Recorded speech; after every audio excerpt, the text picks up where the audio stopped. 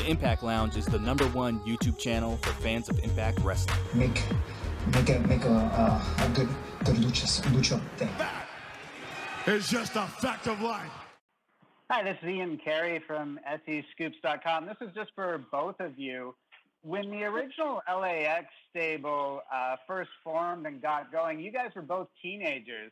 Uh, I'm wondering if the original stable was uh, something you guys uh, enjoyed watching when you were uh, coming up, and uh, if that kind of plays into um, your satisfaction with the angle now. A hundred percent. We, uh, you know, we like we were uh, we were saying it when we were doing the interviews for Impact.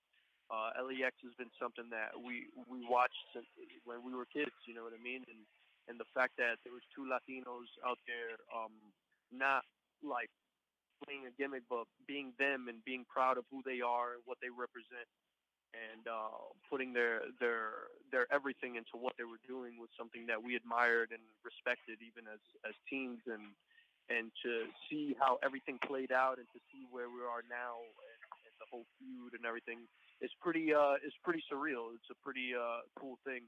Um, I never would have thought when I was, you know, 14, 15 years old that when I was watching them on TV, I never would have thought, hey, I'm going to be at uh, Slammiversary 16 uh, wrestling the original LAX and putting on one of the best matches in, in Impact history. So it was definitely uh, a cool experience. I, lo- I love how highly he thinks of, of us. It's so great.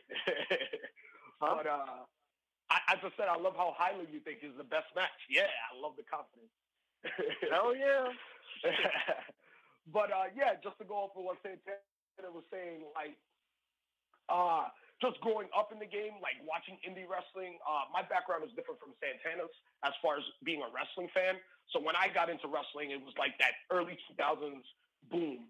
And Homicide was definitely one of those dudes that was just killing it on the indies, doing early Ring of Honor up until him getting signed to TNA Impact, and just just watching his growth as a performer and just like uh, just watching that and just like, oh man, this is this is a dude where we came from, and he's killing it. And he's having these insane matches with these people, and then putting them together with Hernandez.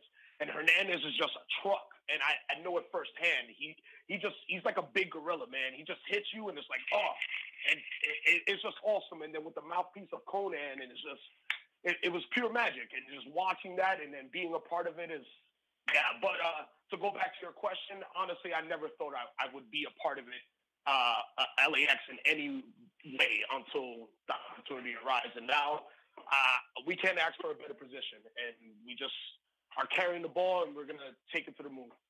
Hey, don't forget to leave a thumbs up and subscribe to the channel. Check out the video below for more Impact Wrestling related content. This is the Impact Lounge.